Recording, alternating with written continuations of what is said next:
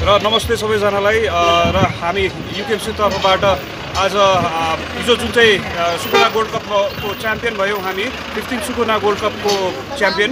र त्यसको निम्ति हामी खसाङ समस्त खसाङवासीको यो जित हो हाम्रो क्लबको मात्र नभएर।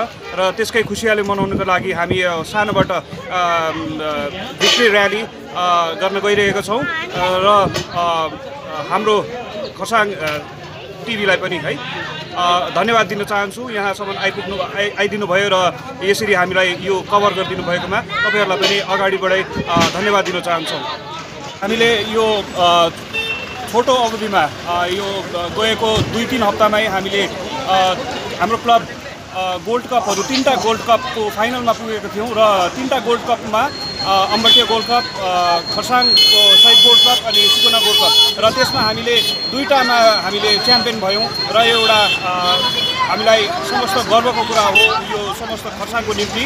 र यही भन्न चाहन्छौँ हामी धेरै धेरै हामी धन्यवाद दिन चाहन्छौँ हाम्रो सपोर्टर्सहरूलाई र उहाँहरूकै आशीर्वादले गर्दा र हाम्रो कोचेस एन्ड प्लेयर्सहरूको मिहिनेतले गर्दाखेरि आज हामीले यसरी जितहरू हासिल गर्न सकेका छौँ र आगामी दिनमा हामी धरानमा हुन गइरहेको इन्टरनेसनल टुर्नामेन्ट बुढा सुब्बा गोल्ड कपमा पनि हामी अंशग्रहण गर्न गइरहेका छौँ र बाइस फरवरीको दिन हामी धरान एफसीसँग भिड्नेछौँ र त्यसको अलावा हामी त्यहाँनिर जापानको लिग टिमको पनि आउँदैछ र उहाँहरूसँग पनि हाम्रो म्याचेसहरू हुनेछ र त्यो हाम्रो प्लेयर्सहरूको निम्ति पनि एउटा ठुलो एक्जाम जस्तो पनि हुनेछ र हामीले हाम्रो प्लेयर्सहरू कतिको रहेछौँ भन्ने पनि त्यहाँनिर थाहा पाउन सक्छौँ र अब हामी त्योपट्टि हामी कन्सन्ट्रेट गरिरहेका छौँ। र प्र्याक्टिस हाम्रो जारी नै छ भन्न चाहन्छौँ हाम्रो हामी यहाँबाट हाम्रो सपोर्टर्सहरूको निम्ति. Thank you so much